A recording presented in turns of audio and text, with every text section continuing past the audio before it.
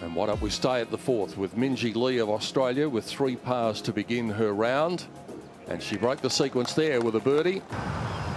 So Minjee with eight iron up the hill. Wind just getting up a little. This is a good line, might come up a bit short though. Uh, oh, it's releasing on. Good shot. Yeah, centre of the green. Back to nine.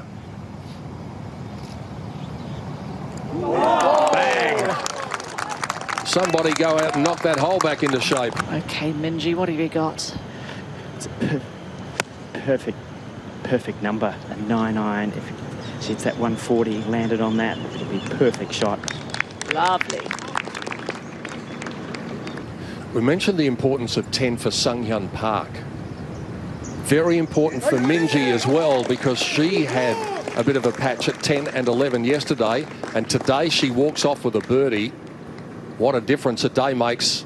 And Minjee Lee at 9 under has joined Sung Hyun Park in the lead. Wow.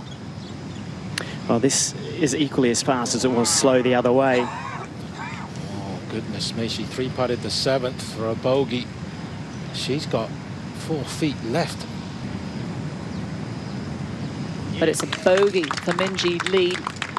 Drops back to 8 under par Sung Hyun Park and Ariya Jutanugarn. Those Rolex rankings don't lie. The world number one and two share the lead now. So Minjee, it's 190 to the pin, but that isn't the number. It's 160 is the number that she's focusing on. Good strike here. And it's got to carry the bunker if it does. And get that kick forward. And that's another perfect shot. You can walk away with a two-putt par. That's all you ask for on 12.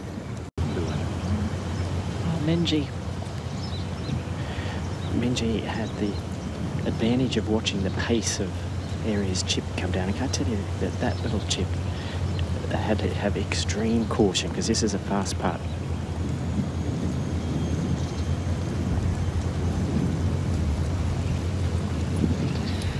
Maybe thought it was a little bit too fast. Well, as Minjee lines this putt up, this is really important for momentum, isn't it? To always think around 12, 13. It's when you've got to keep your round together so that you can get another kick on.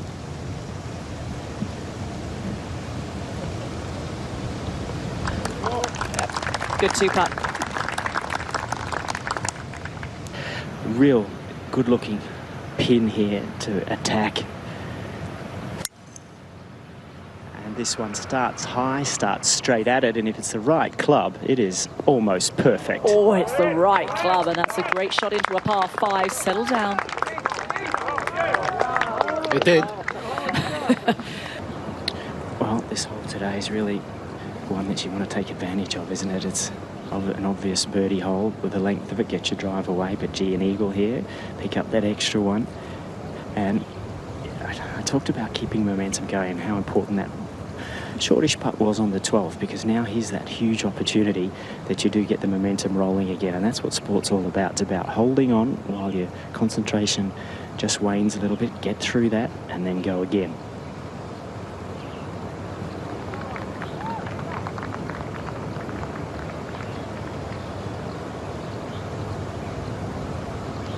It's got to go. Should be good for a birdie from there, though. Right at the top of their game from South Korea.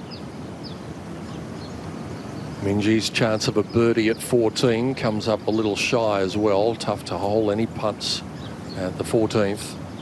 So she'll stay one back.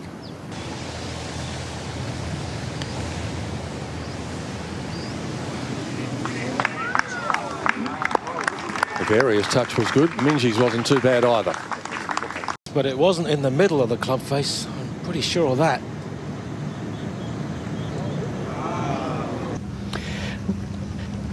As Minjee has, she's looked at the line, visualised it, and this is looking pretty good. Wow, what a putt. And the gap is back to one. Well, Minjee with 150, but she doesn't want to hit at 150. She wants it at that front edge. There's a shoulder on the left side. Hits there, which it looks like it will. It'll feed down to the pin. Probably just needed about three more feet and it would have fed down some more. Let's go Back to the putting action once again at 18. It's a tough putt to read because you've got the shoulder on Minjee's backside there that's going to push it right, but it wants to then fall to the right towards the hole.